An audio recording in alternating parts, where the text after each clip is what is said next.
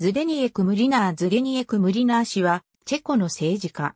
共産主義青年同盟を経て、1950年にチェコスロバキア共産党に入党する。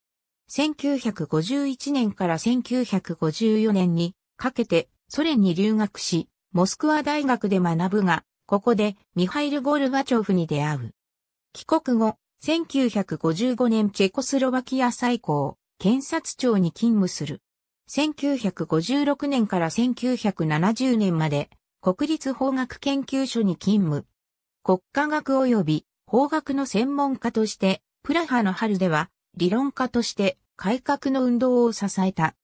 1968年4月から11月までチェコスロバキア共産党中央委員会書記を務め、4月の共産党行動綱領草案作成では政治改革の部分を担当した。しかし、8月ソ連軍を中心とするワルシャワ条約機構軍が介入したため、プラハの春は挫折した。ムリナー氏は軍事介入直後、チェコスロバキア指導部の一人としてモスクワに派遣された交渉団に加わる。8月末開催されたチェコスロバキア共産党中央委員会総会で党幹部会員に選出されるものの、11月には辞任し、1970年には共産党を除名処分されるに至った。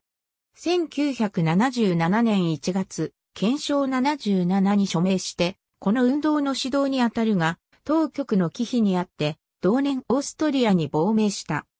1989年のチェコスロバキアにおけるビロード革命で帰国し、左派の政治理論家として、チェコの言論会に復帰を果たした。1997年4月15日死去。ありがとうございます。